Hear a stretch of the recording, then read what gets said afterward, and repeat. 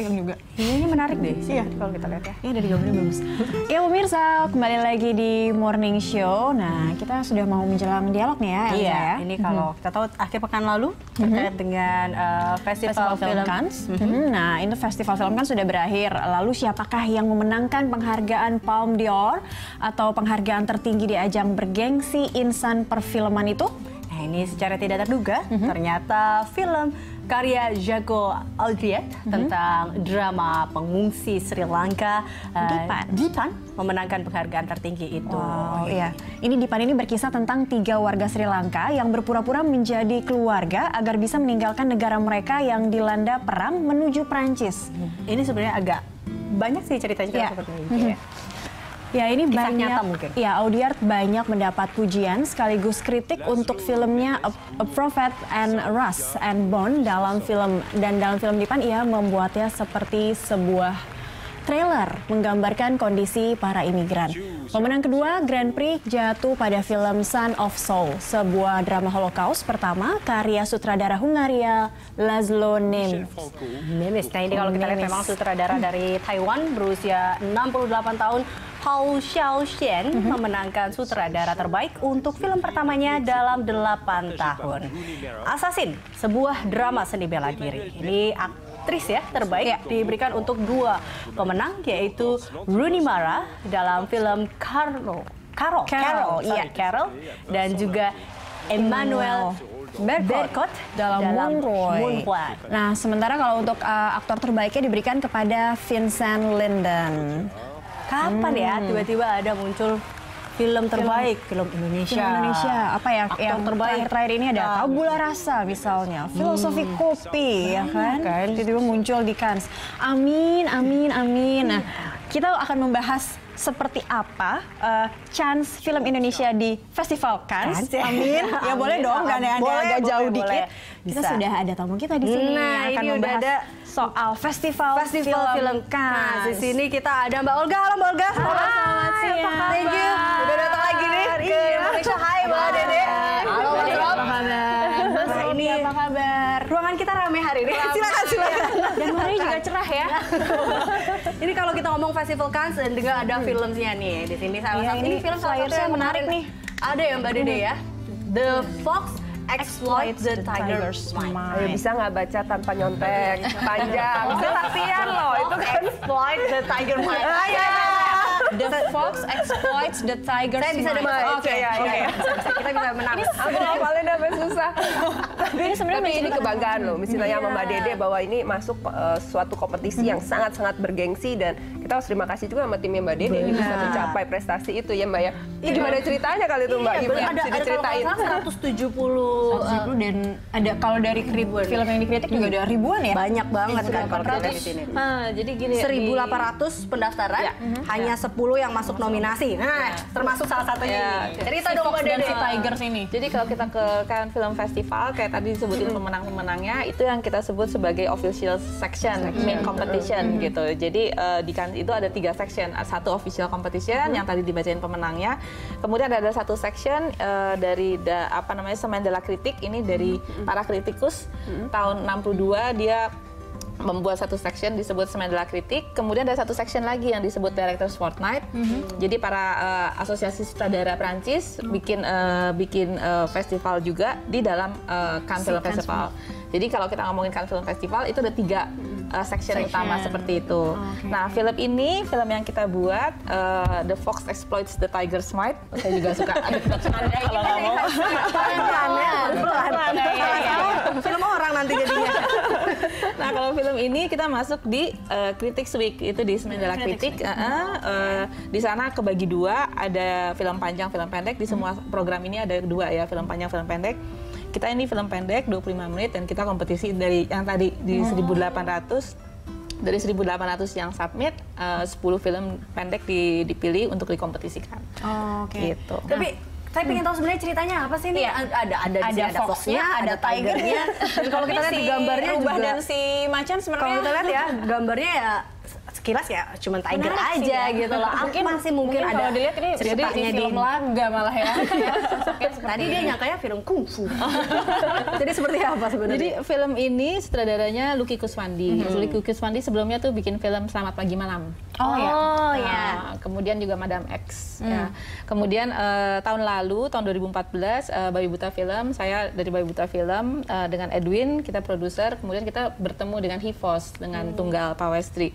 Kita bertiga akhirnya memutuskan untuk memproduksi film beberapa film pendek. Salah satunya bekerja sama dengan Lucky Kuswandi untuk memproduksi film ini. Film ini. Oh, Dan topiknya kalau ditanya topiknya apa kita tuh eh, tahun lalu punya punya apa ya punya keinginan untuk membicarakan hal-hal yang tabu di Indonesia Hal tabu. hal-hal yang tabu jadi di sini kita akan ngomongin soal seksualitas dan power Oh. kedua kekuasaan ya Kekuasaan. Mungkin ya. kalau boleh dibilang fokusnya dari sisi seksualitasnya kah dan powernya dari sisi Oh, tigernya? Tiger. Sebenarnya judulnya sih nggak langsung berhubungan. Jadi eh, Lucky waktu itu nyari ini judulnya apa ya? Tersirat semua- tapi tersurat apa ya? Kayak gitu-gitu lah. Ada ada. dari peribahasa Cina.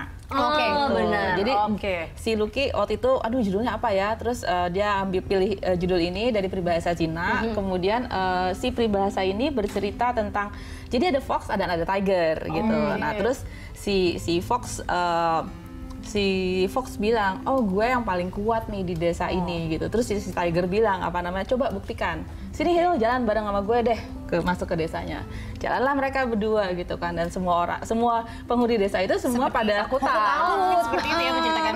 pada takut gitu. Takutnya sama harimaunya Ya, sebetulnya. karena harimau jalan di belakang dia. Oke, Jadi kita baik. mau ngomongin itu manipulasi, Oke. Manipulasi. kekuasaan. Nah, Kekuasaan. di sini ada Mas Robi juga dan Mbak. Nah, Saya mau ke Mas Robi. Ini yang kita tahu uh, Badan Perfilman Indonesia, ya dulunya mungkin orang-orang juga taunya ada almarhum Mas Alex Komang Iya. seperti itu. Iya. Dan dilanjutkan dengan Mas Robi Eh, sekarang ketua seperti yang apa? sekarangnya Kemal Atmojo, tapi oke. saya kebetulan eh, ketua bidang festival film luar negeri. Nah, gitu. Jadi, nah, festival film luar negeri. Pasti. Partisipasinya untuk film Indonesia bisa menghantarkan film-film Indonesia kita ke Cannes atau ke festival Nasional internasional. yang lebih luas itu seperti apa sih? Apa yang eh, yang pasti kalau misalnya ada filmmaker Indonesia yang lolos festival luar negeri, proposalnya masuk ke kita, kita fight ke eh, government.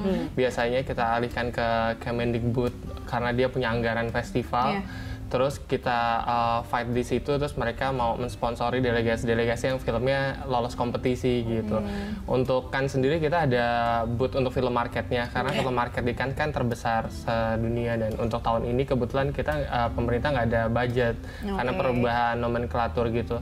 Terus tapi teman-teman uh, Mbak Olga dan lain-lain itu ikut membantu kita. Yaudah yuk kita cari swasta gitu untuk bisa ada di Cannes dan akhirnya tercapai sih itu dan kita bisa turut berpartisipasi sama Cannes di film marketnya juga. Apalagi tahun ini kan ada film Indonesia masuk kompetisi, jadi happy banget gitu kan. Jadi booth kita menjadi naik kelas. Biasanya cuma menjual satu, tapi sekarang ada yang dilewatin, festival. oh menarik. gitu. Nah, Kalau kita dulu sempat eh, untuk menarik per- eh, Perhatian. perhatian, sempat ngasih-ngasih rendang ya, untuk tabula rasa Iya. ya. Sekarang tahun tahun ini, ini ya tabula rasa. Ini di samping kita ada yang Iya. jaga Iya. bootnya.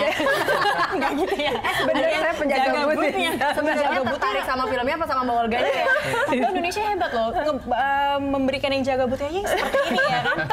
Pengalaman Aduh melihatnya seperti itu memang menarik eh, ya pengalaman Iya. di situ seperti apa sih? Apa mereka memang tertarik dengan film-film Indonesia? Memang ini pengalaman pertama saya di Cannes eh, dan begitu masuk ke sana saya benar-benar melihat eh, the big game dari industri film ini bisa dibayangkan kenapa kita harus hadir di Marsedukan atau di pasar filmnya kan karena dalam satu festival itu transaksi diperkirakan sekitar satu miliar dolar ya 13 triliun dalam 10 hari. Dalam Jadi 10 ini hari. adalah sesuatu yang yang sangat-sangat besar. Nah, kemudian eh, di situ datanglah distributor, kemudian sutradara dan sebagainya. Nah, karena bus kita ini memang eh, pertama kita bangga sekali dengan adanya eh, filmnya Mbak Dede sehingga banyak yang datang juga nanyain film ini, nanyain Iya, Lucky, iya. nanyain Mbak Dede. banyak banget gitu. Eh, itu pertama gitu. Eh, kedua eh, yang penting juga adalah eh, ada tabula rasa dan ada filosofi kopi Iya. yang market screening. Jadi di pasarnya nih, jadi kita putar Soalnya bagi-bagi rendang tertarik. sama bagi-bagi kopi mungkin di sana. itu sebenarnya gimmicknya itu yang paling. Jadi di sana saya eh, tidak hanya jaga bus, saya menjadi pembuat eh, kopi sekalian beres-beres bus. Kalau udah tutup, sama tambuci Lengkap ya, Pak. ya. Nah, tapi untuk yang rendang ini menarik karena sebetulnya kehadiran eh, Indonesia di Cannes Film Festival kita tidak hanya menjual film sebenarnya kita menjual eh, semua memarketingkan seluruh Indonesia sebetulnya. Kita bicara soal budaya, kita bicara soal orang-orangnya dan kita juga jual eh, keindahan alam Indonesia. Hmm, iya. Gitu. Benar. Jadi kita Dari berharap film-film itu ya. Indonesia bisa menjadi syuting location gitu. Memang kita belum bisa ngasih grant kayak negara-negara lain ya. Cuman kita bilang nggak usah grant di Indonesia. Kita tuh orang-orangnya udah jago-jago, ya kan? Ada yang masuk eh, festival apa kompetisi, gitu ya. Jadi eh, filmmaker udah jago-jago, kalian tinggal datang mau syuting di sini, bawa cerita, bawa produksi, kita bisa Kita udah kerjain. bisa ya. Kita nggak kalah kok. Ya. Benar. Bisa. Ini saya mau balik lagi Iya. ke Mas Robi. Kalau kita nggak kalah, berarti eh, tiap tahun ini kan tentunya banyak film juga yang ikut dengan kompetisi-kompetisi eh, ajang internasional. Nah. eh, jumlahnya itu bisa dikatakan apa semakin meningkat atau bagaimana? Mungkin ada upaya lain kah yang bisa dilakukan agar film-film di Indonesia ini lebih ya banyak lagi yang ke ikutan Eh, kompetisi semakin internasional. meningkat tapi sayangnya eh, explore dari medianya tentang film-film yang lolos itu sedikit sekali gitu Hmm. karena mungkin mereka pikir ada filmmaker yang eh, berangkat bukan yang apa populer atau yang lain makanya Ya, kita butuh betul, dukungan betul. media untuk memberitahu kalau banyak banget festival film luar negeri yang udah kita kita bulan udah ini menang, aja ke kita Jepang udah aja udah banyak gitu. heeh. Karena mungkin yang di, yang ditangkap oleh publik eh, eh, penonton di Indonesia juga mungkin hanya melihat sineas yang terkenal saja Iya. berarti yang mungkin kemungkinan Iya. punya kesempatan ke festival internasional ternyata seperti Padahal enggak. Iya, mungkin Iya. lulus- Jadi kompetisinya yang Mbak Dede ini ya itu bisa itu Iya. banget Betul, terbuka. betul. Ini kan kalau kita Gitu. lihat gitu loh Mbak Dede, eh, mungkin di masyarakat sendiri ataupun di Indonesia ada yang mungkin kurang tahu terkait dengan film-film yang ikut kompetisi bahwa mereka juga berpikir bahwa ah film-film yang ikut kompetisi nggak ngerti nih gitu kan aku nggak ngerti nih yang kayak Iya, apa gitu bukan yang film memang- komersil ya. iya yang alurnya ada dramanya mungkin ada Mungkin mikir ada tentang jadi hal-hal mereka yang- ya ini kita kan lihat lewat lihat jadul apa judulnya judulnya udah Aduh, iya, judulnya sangar kan, judulnya Iya. sangar kan. Pada saat diputer itu saya inget banget MC-nya bilang eh, begitu selesai filmnya terus MC-nya kan ngundang semua timnya itu dan dia bilang Waduh, susah sekali bernapas karena filmnya sangat menegangkan. Dari belakang. Saya bangga juga ya dalam hal itu dan mungkin eh, satu lagi perlu digarisbawahi kalau misalnya mengatakan tuh eh, kompetisi apa sih? Dalam kompetisi ini menghasilkan Wong Kar-wai, menghasilkan Alejandro Inarritu, menghasilkan eh, Bernardo Bertolucci juga. Itu juga berangkat mereka berangkat dikenali bakatnya tuh dari eh, Dari kompetisi yang sama ini, kan? Nah, dari kompetisi yang sama dengan ini. mengingatkan saya dengan Crouching. Tiger Hidden Dragon ya dengan Karwa itu tadi ya. Oke. Dan kalau nonton filmnya juga eh, lumayan asik banget, enjoy untuk dinikmatin. Jadi orang asumsinya, oh ini festival yang berat itu saya ternyata enggak. Ternyata gitu. enggak. Dan ini menurut saya film bagusnya Indonesia wajib banget ditonton sama semua orang. Akan diputar di Indonesia?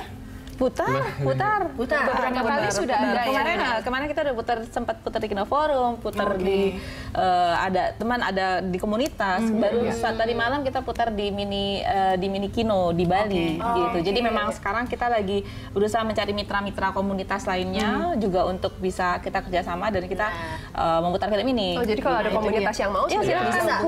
hubungin langsung. Mbak Dede. Hubungin aja itu tadi ya agak segmented memang ya dan semoga BPI bisa mendorong lagi supaya film yang seperti Iya. ini bisa tayang di Film bioskop sebenarnya, juga. eh, apa namanya film-film seperti ini tuh eh, chances untuk chance untuk masuk gitu ya kayak teman-teman Iya. gitu misalnya pembuat film banyak yang bertanya gimana sih cara masuknya gitu ke festival iya, iya. film pertama di era sekarang kayak internet kalau kita browsing gitu ya kita bisa lihat banyak sekali film festival gitu dan kita bisa lihat rankingnya dari yang paling eh, atas Tertinggi sampai Ah, terendah. ah, jadi kan film festival banyak sekali Iya, gitu kan dari film festival paling susah iya, sampai seperti ini gitu. Ini. Eh, eh, itu ibaratnya kayak kalau di olahraga tuh kayak mau mau tujuan ke Olimpiade, apa ke Sea Games, apa ke Asian Games, ada- ada pon, ada sampai ke film pon juga ada ya, ya, pon pon iya, dulu iya, gitu ya. pon dulu, film seperti itu juga gitu. oke. Ada tahapan-tahapannya.